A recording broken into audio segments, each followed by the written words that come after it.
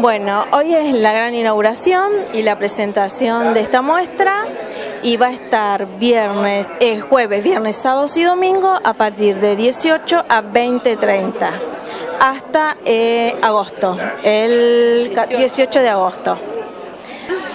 la verdad que estamos orgullosas de recibirlo en nuestra sala, Arte en Co, nuestra galería de arte, de Mercedes Apilón y mía.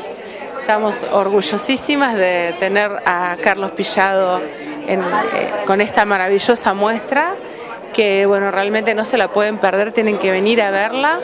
Como les dijo Mercedes, días y horarios ya saben.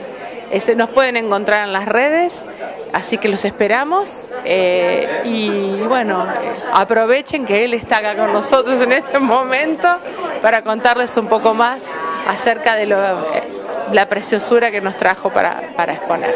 Eh, fue alrededor del año 2007. un día empecé a pintar y no paré hasta ahora.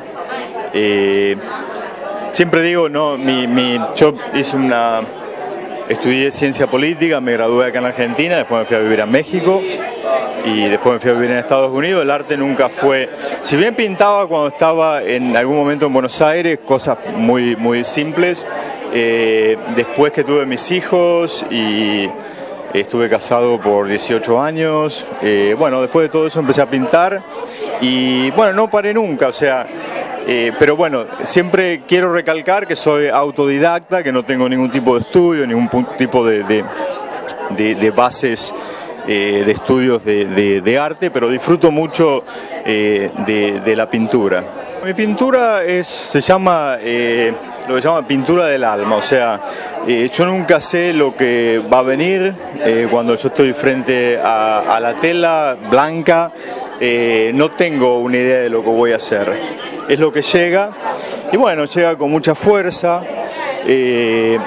con un mensaje que tiene que ver con mi vida y mis experiencias personales y es un placer, es muy muy simple y es sumamente placentero. Yo siempre, cuando yo termino una pintura, no, todavía no, eh, el mensaje llega mucho más tarde.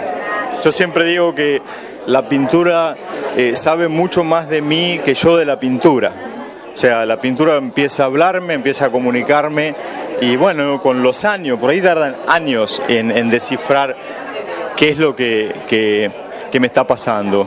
Eh, me gusta mucho escribir, eso ayuda muchísimo. Eh, siempre hago la pintura y la escritura, van juntas, nunca llega sola. Es, una experiencia muy personal y bueno, como yo no tengo ninguna escuela, tengo la libertad de hacerlo de la forma que, que llegue, ¿no? ¿Y hay algo de la juventud, de la niñez en esos cuadros? Todo. Estos cuadros es el niño pintado por el adulto que soy. Entonces, si haces un recorrido y te concentras en la pintura y en la lectura, te vas a dar cuenta que tiene que ver con mi historia. ¿Y, qué hay, mirando los cuadros, qué hay de ese niño que vos fuiste?